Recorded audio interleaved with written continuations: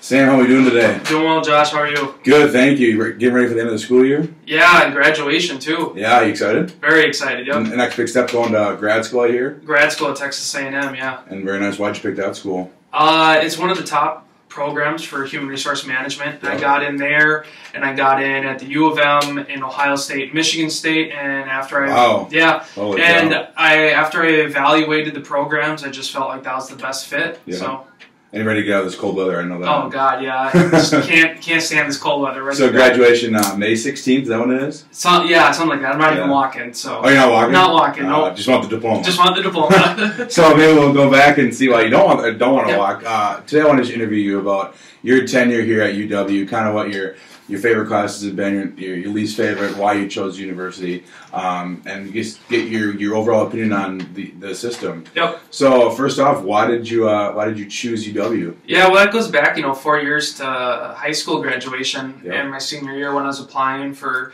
colleges, and I uh, just didn't really know what I wanted to do. I had a few ideas, didn't really know where I wanted to go, just knew I wanted Mhm. to get away from home. And where's home? Superior, Wisconsin. Okay. right. So I decided just to start researching some universities and ended up looking at uh, Eau Claire, and then I started looking here. And I looked here because my aunt had graduated just a few years Okay. before, and it's also where my dad went and played football. And so I just decided, hey, what the heck? Well, I got into both, and so I Yep. decided, you know what, what the heck? Let's go to River Falls. So now, did you have a tour here? Did you like the campus? Or didn't not? have a tour or anything. So same as me. I Yeah. didn't have a tour at all either. The first, uh, my first day on campus was uh, my class registration. okay. And was- Now, is that a little intimidating coming on a campus and not knowing where things were at and kind of having to look at the map and just kind of just of get thrown into the Falcon the Falcon way? Eh, not, not not too bad. You know, That's they, bad. they have a lot of they offered a lot of resources, and so those were there when needed and desired. Yep. And just I like like figured out new stuff, so it was just kind of like a new experience, and it was really fun. Did you did you find that a lot of the the professors and not, not as much professors, but like uh, this, all the student life people were a lot of help when you came on campus right away? Honestly, like actually, uh, it was a professor as the most help, and Okay. the first. Uh, First day I was on campus for class registration, I met with uh, Dr. Travis Tubré, who was the advisor to my aunt when she was here in the psychology department, and Yep. he definitely helped me acc- um, acclimate a lot to the life here on campus and stuff. And he's been my advisor now throughout the all four years. So it's definitely, I would say, attribute a lot of my six, early success. It helped you out a lot. You said. Yeah. Oh my gosh. Did it yes. help when uh, you were getting the transition to go to grad school? Was that a big Oh yeah, absolutely. He helped me find programs. He helped Yeah. me work my applications, and uh, he also helped me find access to a lot of the opportunities that I think were key in me getting into grad school. Right on. So when you were filling out your application and you came here, did you uh, have a preference on dorm rooms when you stayed in, or yeah, I not really a preference, but I roomed my first year with one of my best friends growing up, okay, and him and I roomed together. And it was all fine and stuff. Most of the time, he spent Yeah. actually outside of the room, so I Okay. pretty much had a room to myself. Right I lived over in uh, Johnson Hall on Okay, the yeah. fourth floor. yeah, that's where you and I met. Yep, actually, yep, yeah. yep. And uh, made a lot of friends there. Still talk to a lot of people that Good. I uh, lived with there. But yeah, Yeah. so it was a good time. And I know they always say the old adage is you don't want to room with someone that you're best friends with your first year. Did you find that to be true or not? So like I said, uh, I would say uh, ninety percent of the time he wasn't even there, and the time that he was, we got along well. So it, I think went really, really well. Um, but yeah, it wasn't too bad. We don't talk much anymore. We just, but not in a bad way. Just kind of went our separate ways. separate ways. So, so you still you talking a little bit, but not much. Every, if I see him, yeah, around, I'll say hi to him and stuff. But and you said you went to Superior with him when you were growing up. yeah, he uh, grew up in Superior with me. Okay. So, did you stay in the dorms all four years, or did you just do the, the standard Um, two and then move to another No, apartment? uh, my freshman year I stayed in a dorm, and then the fall of my sophomore year I I wasn't on campus. I was doing my internship in Disney Okay. World, oh, nice. and That's right. Yeah. um, I came back after that. So spring my sophomore year, I lived for a few weeks in Ames, the Oh, sophomore Ames, Iowa, when yeah. they were new. Yep. Oh, not Ames, Iowa. Ames.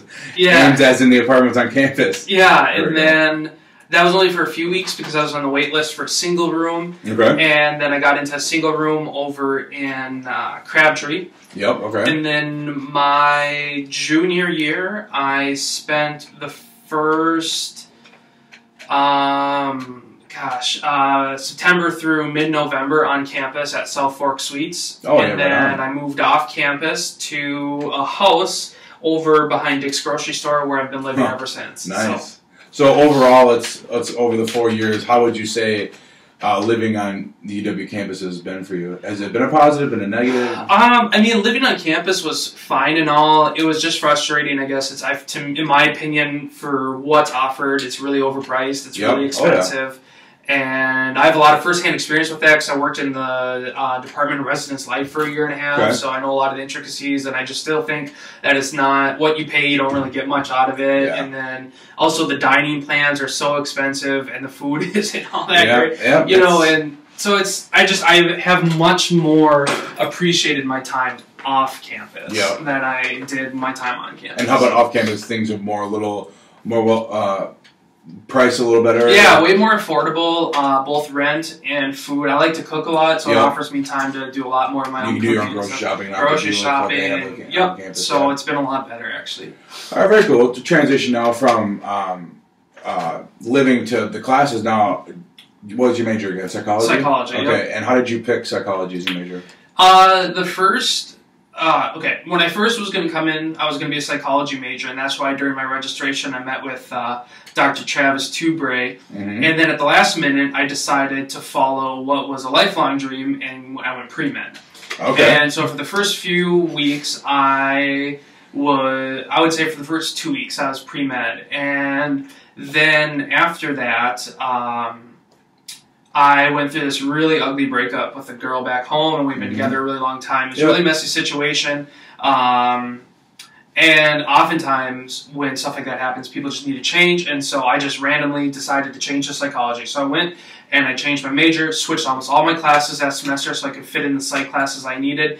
And I've been a psych major ever since, and it's just been like the best thing I've ever done.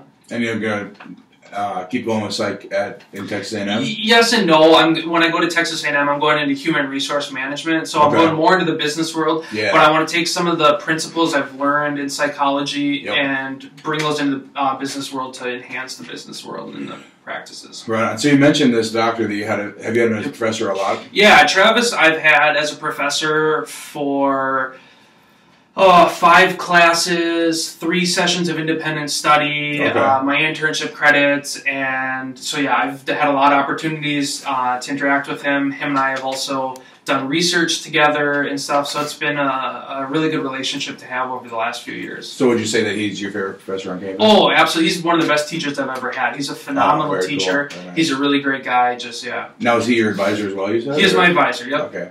So it's nice when you have all those three kind of encompassed into one. Yeah. Um, so what, what would you say is is besides psychology? Let's kind of get away from that. Mhm. What would you say is one of your uh, favorite other classes you've taken on campus? Uh, I like a lot of the business classes I've Okay. taken. I did an option B minor, and Okay. that's where I was able to take a lot of different types of classes, both extra psychology classes, communication courses, uh, business courses, and mold them into something that was actually useful to me instead Mhm. of just doing a random minor Yeah. because of the uh, past requirement. And I would say definitely a lot of the business courses because that's what originally when I was in psychology, I wanted to go for industrial organizational psychology Okay. and become a professor.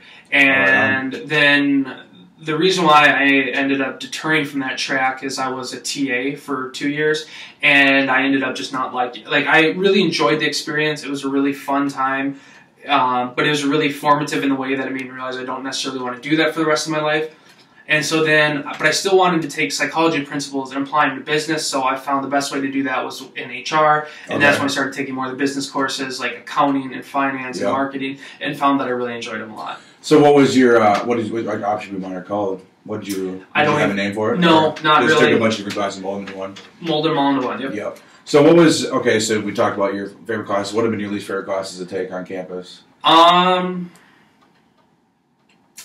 I would say probably some of those gen ed requirements. Yeah, some of them have been really great. Last semester, I took uh, science and art with Oh. uh, Dr. Eileen Is that Korenic. f- physics three fifty? Physics 350. Yep. Yeah, very nice. And it's actually been one of my favorite classes on campus outside my major, just because uh, Uh, Dr. Korenic was really nice. She was really knowledgeable. She's Yeah. really entertaining and made a class really just really fun and really enjoyable. And so even though it's like information I'll probably never use, it's still really cool information to have and just it was a fun time. That's funny you say that because I'm actually taking that class next semester, and I was class. very apprehensive because you see physics 350, Yeah, and it's just like, oh no.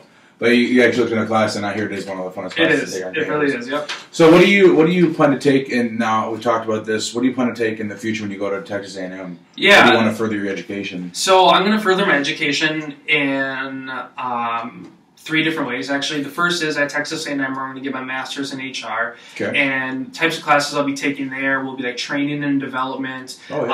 um, organizational development, um, different selection classes. There's an entire class just based on employment law and stuff. Okay. There's a total of about 35 to 45 class credits that I'll be taking at Texas A&M before my degree is finished, including uh, summer-long paid internship Okay. just um, basic experience. So Yeah. I'll be going for my master's there, and then another thing I'll be doing is at some point in the next year or so, I'll be registering for classes at UW Stout for it's an online certification in in um, instructional design, which Okay. is designing uh, training programs for companies. And so it's just a four class certification. It's not even like a degree or anything but it helps uh, the classes will better teach me how to design training programs. And there's like a whole class just on taking um, current programs and designing them then into computer-based programs and Right stuff and which a lot of companies are doing because it's very cost and time effective and so I'll get that. I'll be getting that certification, and then I'll also one certification I've been kind of toying around with is this called the Lean Sigma Six, okay. and it's a certification that was originally developed by the Motorola company, Okay. uh, and they originally developed this program when they were when one of their biggest um, products they were producing was uh, the semiconductors. Yep. And the reason why they developed this is, is that's a very expensive process, and they noticed there was a lot of waste in it and a lot of redundancies and Yeah. inefficiencies, and so they developed this process to reduce that so they could increase the profit margin. Yeah. They found that it worked really well. When they found that that worked really well, they thought, okay, let's see if we can apply it to other products we developed. Found it worked really well. Then they said, okay, well, let's see if we can develop to, uh, develop it for other departments. Again, it worked really well. And at that point, they're then like, well, wouldn't this work for other companies? And so now companies all around the world use this to reduce inefficiencies and to eliminate redundancies. And so it's a really great um, certification to have because it's a uh, you can really help a company become more Mhm. efficient. It's something all companies really want to do. And the reason why I want all these different certifications and educations and certifications is because I eventually want to, uh, starting on the side, but eventually hopefully grow it into full time, is start my own consulting business for smaller companies. Um, or even some larger companies who need help in either creating or reevaluating, redesigning their HR practices, departments, and so on and so forth and Yeah. stuff. Seems like you got your head on right and know what you want to Hopefully, do. yeah. Seems like you got a good plan out. So, one final question here, and then we'll wrap up. What uh, going back to uh, River Falls? What do you think? I know with all the all the problems we've had going on here right now in the whole UW system. Um, what do you think the biggest thing River Falls can do to kind of keep attracting people and keep uh, the students here and not to transfer? Yeah, well, I guess like the first thing that I would say about all that is that the budget cuts are inevitable. So it's Yeah. like you know people keep saying like we don't want them to happen and stuff, but it's like it's happening. So your question's really good because there are things that need to be happening.